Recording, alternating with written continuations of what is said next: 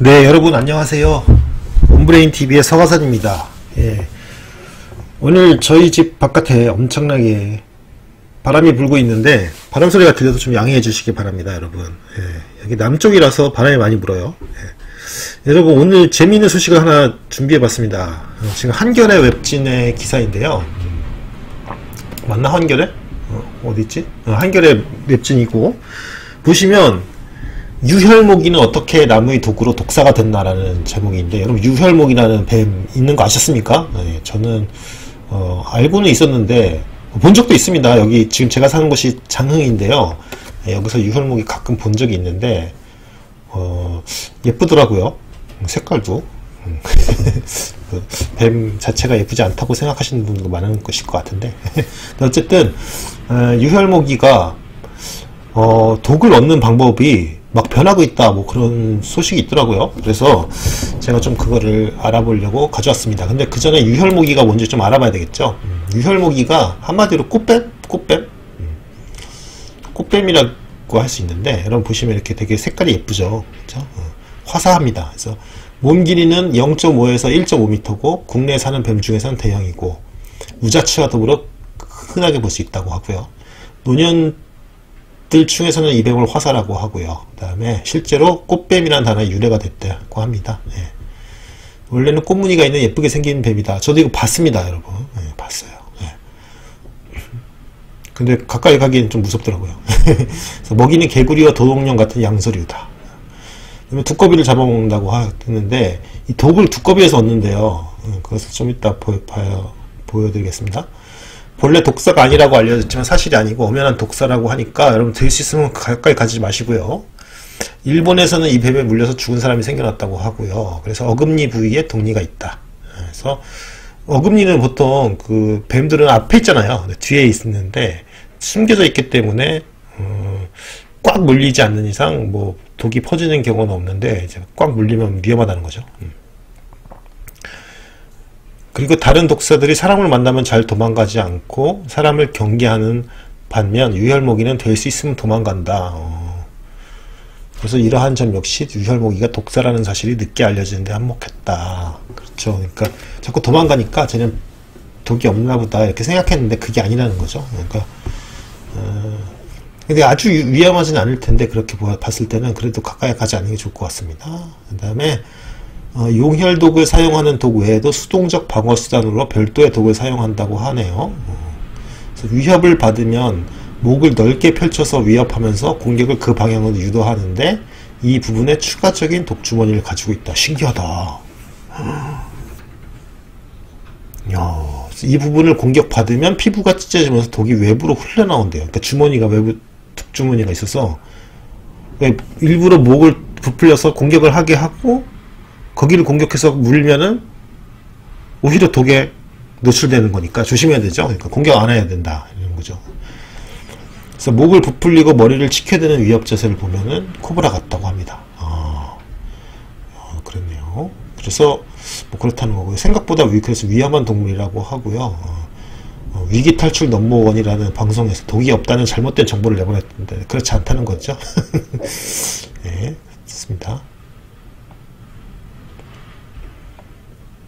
다음에 그나마 성격이 온순하기 때문에 위협은 크지 않지만 음, 사람이 접근하면 목을 납작하게 펴는 위협 자세를 취하거나 먼저 자리를 피한다. 예. 그러네요. 음. 그래서 역시 뱀은 뱀이라서 정력을 추구하는 한국 아저씨들의 손에 희생당하고 있다고 하네요. 아유, 도 뱀을 왜 먹습니까, 여러분? 아, 진짜. 여러분, 제가 예전에 저 여러분 군병원에서 근무했었거든요. 군병원에서 뱀 잘못 먹고 뱀 잘 익혀 먹지 않고 와가지고 왔던 사람이 있었는데 피부를 뚫고 기생충 나오더라고요, 여러분. 어우, 징그러워요. 그러니까 그런 거 먹지 드시지 마십시오. 냉만하면 그죠? 야생동물은 기생충 투성입니다, 여러분. 네. 그렇다고 하고요. 그 다음에 로드킬. 우리나라에서 로드킬을 가장 많이 당하는 뱀이다. 어, 그렇다고 하고요. 그 다음에 음, 어, 주식이 양서류이기 때문에 농지 같은데 그죠 여러분 논, 논 같은데 많이 몰린다라고 돼 있습니다 그죠? 그럼 저 그거예요 어, 저 많이 봐요 저 지금 장흥이라는 곳에서 사는데 바로 옆이 논인데 여름이면 개구리 엄청나게 울거든요. 근데 밤에 밤에 나가면은 예, 밤에 이렇게 제가 헤드램프 끼고 이렇게 별 보러 잠깐 나가기도 하는데 뱀 되게 많아요. 예, 조심해야 됩니다. 예. 게다가 뭐 음, 사이즈 작아서 만만한지 1960년대에는 동네 초딩들한테 나뭇가지로 만든 막대나 돌멩이에 두들겨 맞았다. 사망하는 안습한 일도 많았다. 참 어린애들 보면 막 그쵸. 뭐 개구리한테 돌 던지고 막 잔인한 거 애들 많죠. 그죠? 그렇다고 하고 어, 우리나라에 사는 뱀 중에서 유일하게 초록색을 띈다. 그래서 야산에서 초록색 뱀을 보면 건드리지 않는 것이 안전하다. 여기가 초록색이라는 거죠 여기 앞이 빨간색. 다음에 군부대에서도 종종 볼 수 있다 뭐 이렇게 돼 있는데 제가 소개시켜 드리고 싶은 거는요 기사예요 기사. 보면 유혈모기는요 녹색 바탕에 붉고 검은 점이 교대로 찍혔다. 그래서 꽃뱀이나 화사 등으로 불린다. 이제 이 뱀은 독이 없는 뱀으로 종종 잘못 알려진다고 하는데 얘네들은 두꺼비로부터 독을 얻는다는 사실이 밝혀졌다. 독, 독, 두꺼비 피부에 독이 있다고 하네요. 그렇죠? 음. 그러나 주로 동남아의 26종이 사는 유혈모기 속 뱀 가운데서는 두꺼비에서 한 걸음 더 나아가서 반딧불이 애벌레로부터 독을 얻는다. 여러분 이게 반딧불이 애벌레입니다. 여러분 제 유튜브 동영상 중에서 어, 작년에 아마 올렸던 동영상 중에 반딧불리 애벌레 사진이 있어요. 네, 그 동영상 있습니다. 그거 한번 보시면 참고를 하시면 좋을 것 같습니다. 저것도 어, 되게 이 반딧불이 어, 이 유충도 되게 포악한 애인데 이걸 잡아먹네요. 그죠? 그래서 음, 두꺼비가 느리게 어슬렁 걸릴 수 있는 것은 강력한 피부독으로 무장했기 때문이다. 어, 그래서 경험 없는 포식자가 통째로 삼켰다가는 어, 독성 스테로이드, 스테로이드가 심장에 치명타를 가해 목숨을 잃을 수도 있다. 저, 저 작년에 이것도 유튜브 동영상, 제 동영상에 올렸거든요. 채널에. 근데 저 막 진짜 미친 듯이 두꺼비 만진 적이 있, 있는데 술에 취해가지고 그 동영상이 있습니다. 근데 저는 아무런 이상이 없었는데 조심해야 되겠네요. 앞으로는. 네, 그러니까 역시 무식하면요 조심해야 됩니다. 무식하면은 안 됩니다. 그러니까 저는 너무 무식해가지고 그 두꺼비 막 만졌다가 물론 피부 염에 걸리진 않았지만 그럴 수도 있잖아요. 그죠? 네. 복잡한 화학 물질인 독을 힘들게 만들기보다 남이 만든 것을 가져다 쓴다. 이런 거 많아요. 여러분. 이런 동물들 많죠. 그것도 누구죠? 그 뭐지? 그, 보가지? 보, 보거? 보거도 이렇게, 이런 거죠. 보거도 이렇게 다른 거 잡아먹고 독을 쌓아놓죠. 그죠? 네. 그래서 우리나라는 사는 유혈모기는 주식이 개구리인데 두꺼비를 잡아먹기도 해서 피부 독샘에 보감한다는 거죠. 어금니 뒤에 있다고 그랬죠. 아까 전에. 그죠? 독샘이. 야, 이거 잘 잡아먹고 있습니다.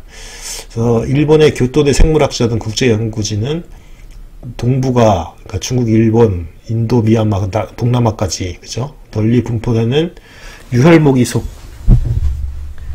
지렁이를 주식으로 하는 뱀들 어, 지렁이를 주식으로 하는 뱀들인데 피부에 두꺼비 독을 지니고 있다. 어, 그래서 알고 봤더니 그래서 독서 분석과 실험하고 막 해부도 해봤겠죠. 그런 결과 이들이 반딧불이 애벌레를 잡아먹어서 두꺼비 독소를 얻는다. 어, 그 반딧불이 애벌레와 두꺼비 독소가 무슨 연관이 있나 보죠. 어, 재밌다. 왜 그럴까요? 음, 그래서 이번 연구로 척추, 척추동물 포식자가 먹이를 척추동물에서 무척추동물로 바꾸면서 방어용 도구로 쓸 똑같은 화학 물질을 확보한 첫 사례가 밝혀졌다. 그러니까 개구리를 먹던 동물이 이제 지렁이를 먹게 됐는데 지렁이를 먹는데 그 지렁이를 먹는 애들은 반딧불이 무척추 동물이죠. 그래서 그거를 먹어서 두꺼비 독을 얻는다. 아 이런 거. 음, 뱀 가운데는 주 먹이를 개구리에서 지렁이로 바꾼 종이 적지 않다. 지렁이는 개구리보다 흔하고 널리 분포하는 데다가 길쭉한 몸 형태가 삼키기 쉽기 때문이다. 그렇죠? 이렇게 빨아먹으면 되니까. 신기하네.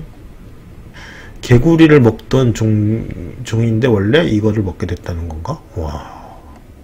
그래서 개구리를 먹는 종들은 두꺼비를 먹어서 독을 얻는데 지렁이를 먹는 종들은 어, firefly larva 저기 뭐지 반딧불이 애벌레를 먹어서 독을 얻는다는 얘기네요. 그죠? 신기하다. 음.